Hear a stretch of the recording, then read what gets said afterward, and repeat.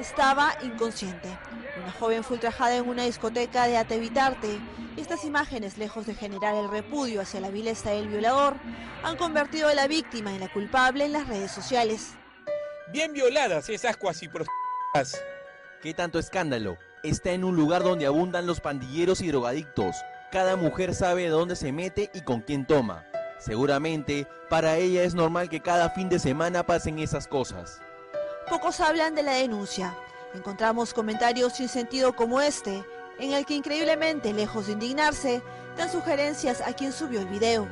La moraleja es, la próxima vez que veas una violación, no la subas. Y realmente la gente además relativiza lo que ha sucedido en este video en concreto. Lo que ha pasado en este video es una violación. No hay ambigüedad posible sobre ese tema. Cuando una mujer está en un estado de ebriedad y de intoxicación en el que ella no puede dar su consentimiento y un hombre aún así tiene sexo con ella, la está violando. Y la persona que aparece en ese video es un violador.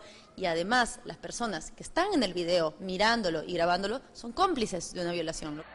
Y una y otra vez la víctima es lapidada por embriagarse, como si la suma del alcohol más mujer diera el permiso de hacer con ella lo que se les dé la gana. Tanta hueva una pastrula, ¿acaso no sabía cómo terminaría después del bombazo? Se emborracha y luego lloran porque las violan. ¿Para que mierda toma hasta ese extremo? Mujer que toma es mujer lujuriosa. En las calles la opinión es distinta un poco, un poco más defienden al agresor. Así son pues las, las redes, eh, te, te, critican, te dicen todo. ¿Es un acto cobarde? Sí.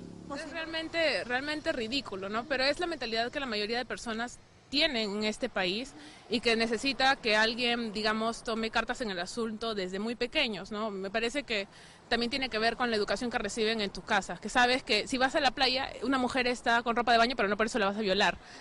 Para Jimena Ledgar, vocera de Una Menos, cada uno de estos mensajes refleja el trasfondo alarmante de una injusta sociedad machista que cada vez que puede culpa a las mujeres atacadas.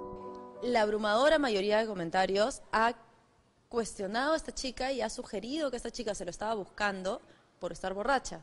Ahora, yo creo que si uno sale un fin de semana a cualquier discoteca de Lima, la cantidad de hombres borrachos que hay es gigantesca. Pero nadie va a salir a decir que si los matan o los agarran a golpes, ellos se lo merecen. El Perú ocupa el tercer lugar en casos de violación sexual en el mundo. Lamentablemente, comentarios como estos evitan que muchas mujeres denuncien el abuso.